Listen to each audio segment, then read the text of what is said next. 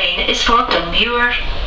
This train will call at Merryton, Chatelherault Hamilton Central, Hamilton West, Blantyre, Rutherglen, Argyle Street, Glasgow Central Low Level, Anderston, Exhibition Centre, Partick, Hyndland, Anniesland, Westerton, Drumchapel, Drumry, Singer, and Dalmuir, where this train will terminate.